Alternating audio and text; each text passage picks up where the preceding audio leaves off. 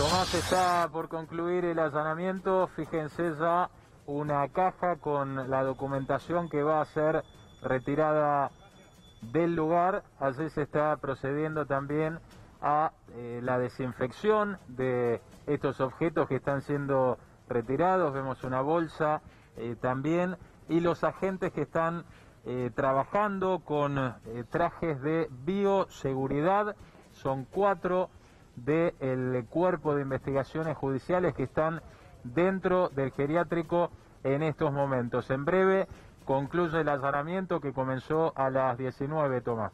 Cristian, eh, ¿hace cuánto que comenzó el, allanamiento? Me dijiste a las 19 horas, o sea, ya estamos casi en cuatro horas. Llegaron en mucho tiempo, les llevó a hacer el allanamiento.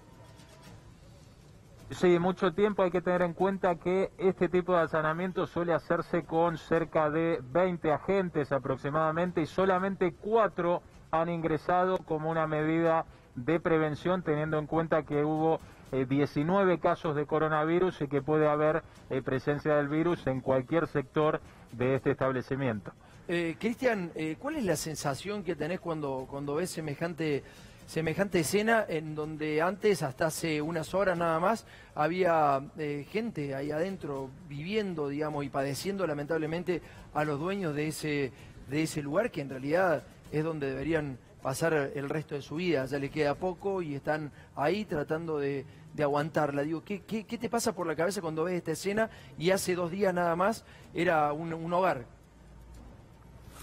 Sí, exactamente, Tomás. Realmente llama la atención da mucha tristeza también y aprovecho y te cuento la preocupación eh, de muchos familiares sobre qué va a pasar con los adultos mayores, por ejemplo, en el caso de los que dieron negativo en los controles en distintos hospitales y que no van a poder regresar aquí a este establecimiento porque está clausurado claramente. Es tremendo, muchísimas gracias Cristian, gran trabajo, lo que estamos viendo ahí entonces es el fin de un allanamiento que vamos a ver lamentablemente en reiteradas ocasiones. El miércoles pasado te mostrábamos por primera vez una clínica en Capital Federal que había estallado por el mal manejo, porque no hay protocolos y porque en la Argentina tenemos la mayor cantidad de médicos infectados en proporción en el mundo, uno de los países donde más hay médicos contagiados. Esto es fruto de la irresponsabilidad de los profesionales y de los dueños de las instituciones geriátricas y sanitarias. Nos vamos a la tanda, ya volvemos.